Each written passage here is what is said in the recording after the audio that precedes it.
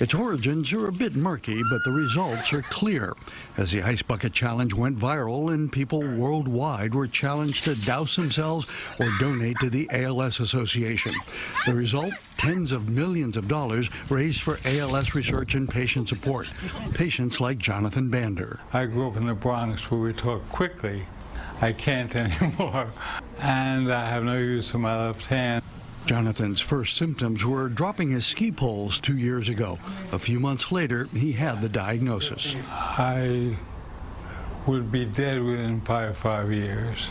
But that prognosis is changing. The president and CEO of the Muscular Dystrophy Association, a major funder of ALS research, says there's been an explosion of progress. Now there are 50 drugs in the pipeline, and the Ice Bucket Challenge and the infusion of all that money are really making a significant difference.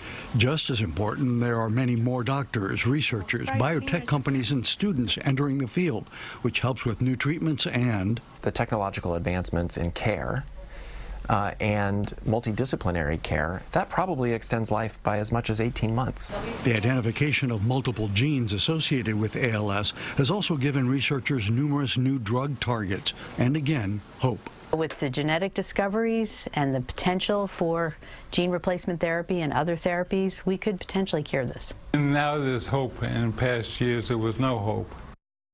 Still, whatever that cure turns out to be, it's realistically still years away. That's why it's important to also focus on the therapies that extend life while clinical trials continue to make progress.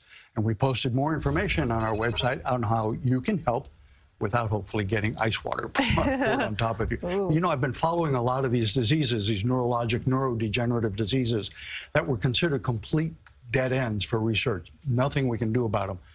And it is amazing the progress that's been made in just the last couple of years, not just in Lou Gehrig's, but a number of other ones. Uh, it's, it's really exciting to see that what's happening. There's a lot of hope out there. Truly.